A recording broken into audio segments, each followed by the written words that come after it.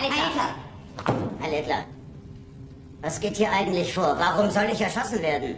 Sie wissen von dem Befehl des Führers, dass ein Ausweichen nach Westen für alle ausdrücklich verboten ist. Offiziere, die sich dieser Anordnung nicht bedingungslos fügen, sind festzunehmen und augenblicklich zu erschießen. Wovon reden Sie? Meine Einheiten stehen seit Tagen in schwersten Kämpfen.